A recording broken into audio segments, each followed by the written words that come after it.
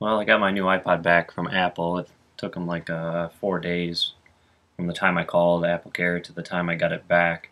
Well, I got a new one back. So, and I was messing around with the contacts program, and I was like, man, I wish I had Notes, you know, because Notes isn't included on this iPod for some odd reason. It's on the iPhone, but not on the iPod Touch.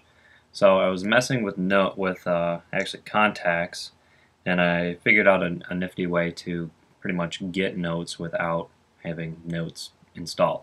I should probably say notes some more. Anyways, here I'll show you what I did. Uh,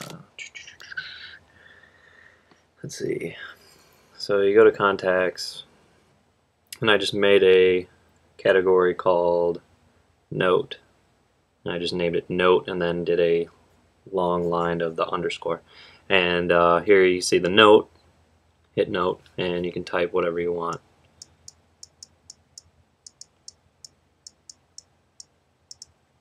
Hit save and it saves. Uh, it's not as user friendly as you know notes would be. I mean, it's pretty much.